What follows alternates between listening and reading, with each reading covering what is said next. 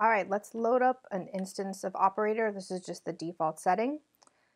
Operator is a super powerful FM synth and it can be a little bit tricky to navigate around at first. So I'm going to give you just a general quick walkthrough of the different panels and how you can access all the parameters on this particular synthesizer. So starting over here on the left, we've got the four operators, A, B, C, and D. So incoming MIDI is going to give each of these operators its fundamental frequency unless you choose to fix it in place, in which case you can define that frequency over here with a frequency knob, choose a multiplier, and then there's a level for each operator as well.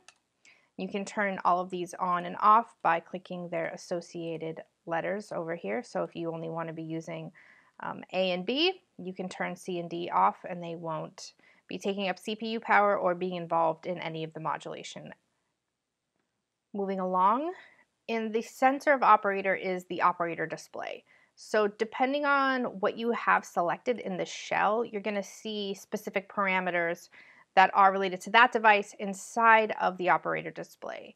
So for each of these operators, I have an amp envelope, and then I also have oscillator parameters as well. So let's take a look at the envelope here first. I have a visual display of the ADSR, and I can adjust those parameters here by clicking and dragging, or I can adjust them down here numerically the same way. We have other parameters which are specific to the, this particular amp envelope. And then if I click on the oscillator, you can see that I have parameters for adjusting which type of a waveform we have. I can also draw in my own waveform. You can see it goes to a user waveform and more parameters specific to this particular oscillator as well. So you can see if I was going to select oscillator C now, it would be back to whatever its particular parameters were. So just clicking through, sometimes it can be a little confusing, especially if you have multiple stages of modulation. Keeping track of what's going on where can, um, can get a little hairy. So just make sure you know where you're clicking and what you're clicking on. And it all makes a lot of sense once you kind of spend a little bit of time inside of Operator. Moving over to the right-hand side of the panel, we have an LFO, which we can turn on and off like this. We have a filter, which can similarly be powered on and off, pitch envelope, and then down here we have all of the global settings for this entire device. So starting up here with the LFO, we have another envelope. And then here we can assign the destination for the modulation. It can go by default to any of the four operators, the filter, then you can select another destination as well and adjust different parameters such as how um, amount of modulation is affected by or in relation to the velocity of the incoming MIDI notes. You can change the wave, you can change the rate and the amount just like a typical LFO on any device that you would see. The filter here, again, envelope, and then here we can actually adjust the parameters and the settings of the filter visually, or again, you can do this over here with these knobs.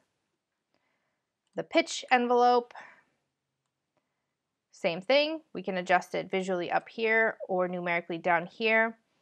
This is another set of modulations where you can assign it to go to any of the oscillators or specifically to the LFO.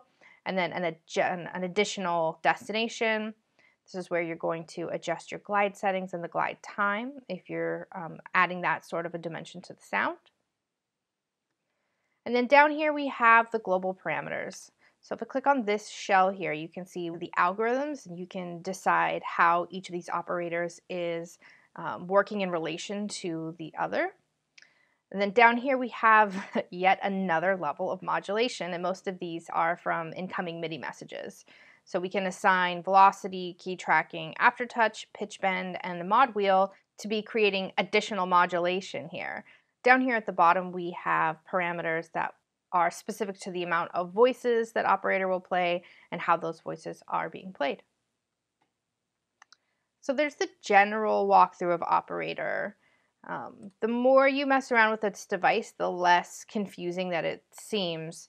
So, you know, visually at first you might find this to be challenging, but it's actually really easy to navigate once you understand what's going on.